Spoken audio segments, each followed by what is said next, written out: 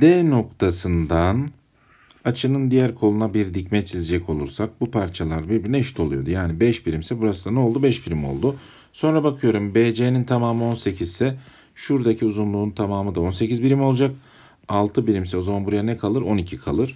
Sonraki dik üçgenimize baktığımızda, şuradaki dik üçgene baktığımızda 5 var, 12 var, x ne olur? 13 birim olur diyoruz. Burada ise D noktasından bakın dikme çizilmiş x birim. Sonra ben diğer tarafa da bir dikme çizecek olursam ne olur? Bunlar birbirine eşit olur. Açıortay üzerindeki bir noktadan açının kollarına çizilen dikmeler birbirine eşitti. O zaman burada bak 45 45 90 üçgen oluştu. O zaman x oldu, x oldu. Bu da ne oldu? x kök 2 oldu. O zaman x'i buradan ne bulurum? Bir birim bulmuş olurum. D noktasından bakın dikmeler çizecek olursam ne olur? Birbirine eşit olur. Ee, 30-60-90 üçgenimiz var. Bakın 90'ın karşısında 4 kök 2 varsa 30'un karşısında yarısı 2 kök 2 olur. O zaman bu da 2 kök 2 olur. 45-45-90 üçgenimiz var. E, bu da 2 kök 2 oldu. 2 kök 2 oldu. 2 kök 2'nin kök 2 katı ne yapar? 4 birim yapar. X buradan 4 birimmiş diyeceğiz.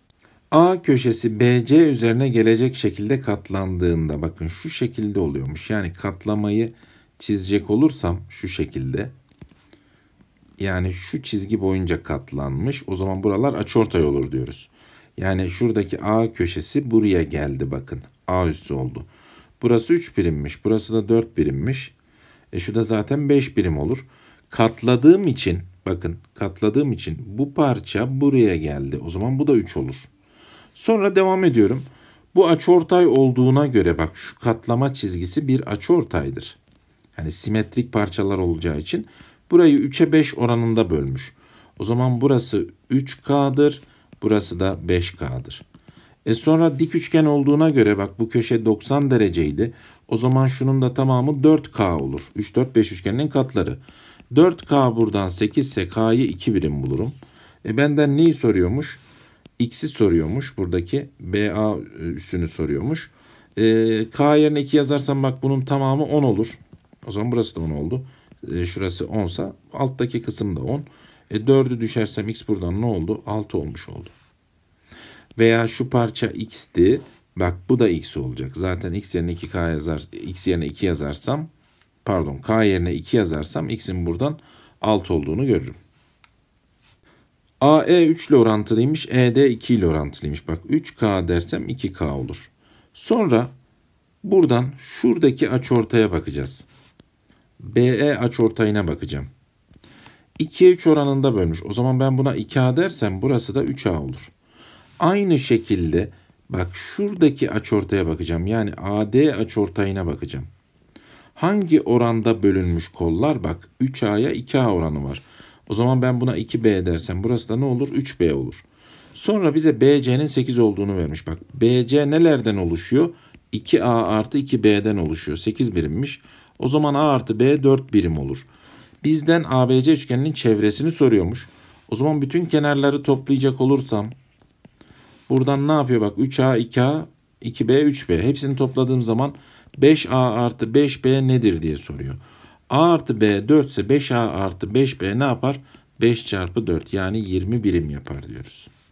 D noktası iç teğet çemberin merkeziymiş. Yani iç teğet çemberin merkezi demek köşelerden gelen uzunlukların açıortay olması demek. Bir tane de ben D ile C'yi birleştirecek olursam ne olur? Bu da açıortay olur. Sonra devam ediyoruz. Bakın buradan dikme çizilmiş. O zaman diğer tarafa da bir dikme ben çizecek olursam bu 4 birimse bu da 4 birim oldu. E sonra bak burası 6 birimse bu da 6 birim oldu. Tamamı 9 birimmiş. 9 eksi 6 3 birim oldu. O zaman bakıyorum. 3 var, 4 var. X'i buradan ne bulurum? 5 birim bulmuş olurum. X buradan 5 birimmiş. Açıortay çizdiğimizde bakın 8 ile 4 arasındaki orana bakıyorum. Yarısı. O zaman 6'nın da yarısı ne olacak? 3 olacak. Sonra açıortay uzunluğu formülümüz vardı. Bak açıortay uzunluğunun karesi x kare. X'in yanındaki uzunlukların çarpımını alıyorduk. 6 çarpı 8 eksi böldüğü kısımların çarpımı 4 çarpı 3. E, burası zaten 48. E, burası da 12.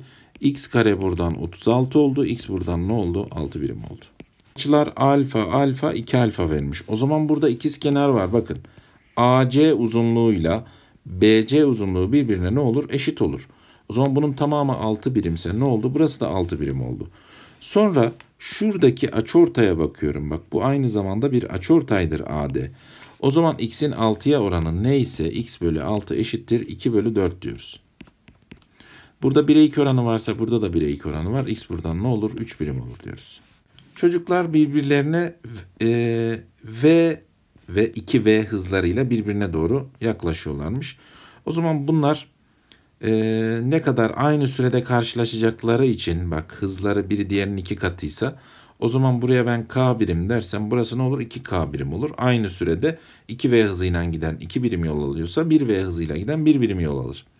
Sonra bize diyor ki K noktası parkın kenarlarına eşit uzaklıkta olduğuna göre o zaman bak şu çizgi ne olur? Açıortay olur.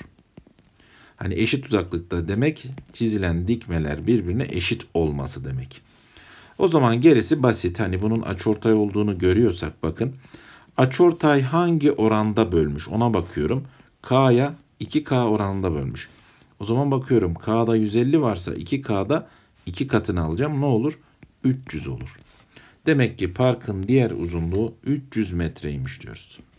AE'ye baktığımızda öncelikle şu üçgende bak dikme tabanı iki eşit parçaya bölmüş.